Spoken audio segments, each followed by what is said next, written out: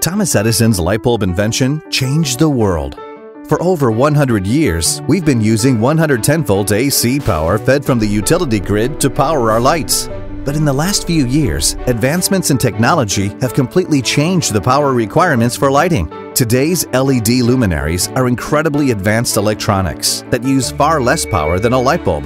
However, these LEDs require low voltage DC power. So until now, the only way to use LED lights was to implement bulky circuitry that converts the AC power to the clean DC power the LED light chip needs. Since our new lighting technology needs DC power, we no longer need to wire our homes and buildings with heavy, expensive, and dangerous high voltage AC wires for lighting.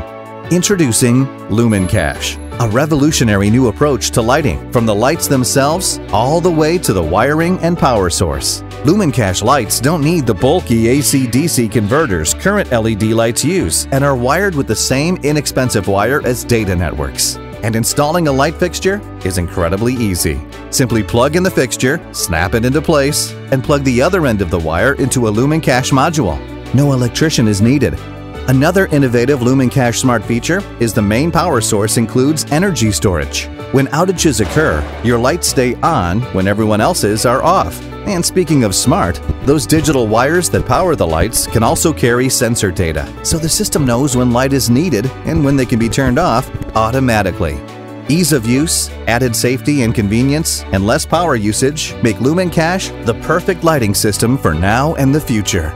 Contact your LumenCache representative before you start your next project and see the brighter side of lighting.